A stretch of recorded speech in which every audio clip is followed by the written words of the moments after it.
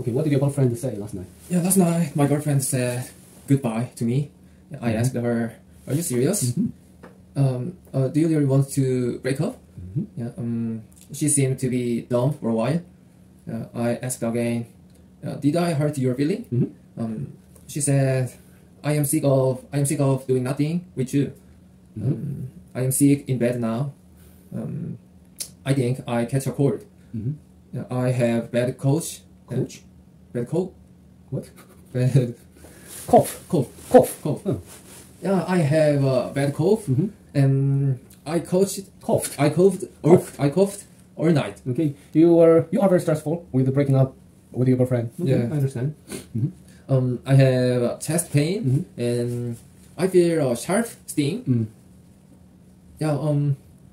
Uh, I I have just received a text message from friend of mine. Yeah, what did he or she say? Yeah. Uh, the blind date is going to be set up. How wonderful it is. Yeah. yeah. Uh, so I can get over this mental illness. Okay, good.